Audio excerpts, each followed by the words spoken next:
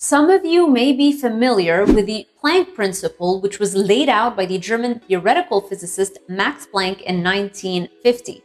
It is commonly known as science progresses one funeral at a time. Specifically, Max Planck said, and I quote, a new scientific truth does not triumph by convincing its opponents and making them see the light, but rather because its opponents eventually die, and a new generation grows up that is familiar with it. As I delve deeper into the nutrition literature, I can't help but scream, yes, that is so true. But did you know that there's actual scientific evidence corroborating this hypothesis? That's right.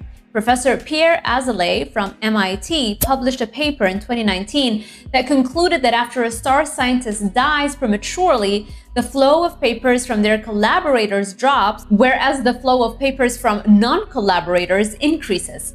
These non-collaborators also tend to be newer to their subfield as opposed to the deceased scientists' collaborators who were more older in the field. Star scientists were identified by looking at who received the most funding, who had more citations for their research, who registered the most patents, who received early career awards, and who were members of the US National Academy of Sciences and the National Academy of Medicine.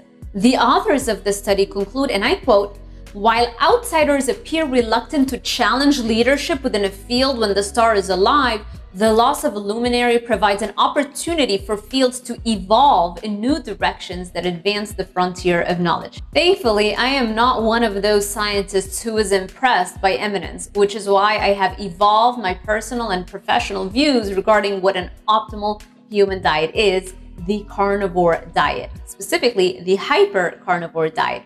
If you want to join the tribe, watch this video on the hyper carnivore diet and snag the mug that I created that every carnivore must have. It says eat meat, lift, repeat, which is what I believe is the optimized lifestyle for a human being.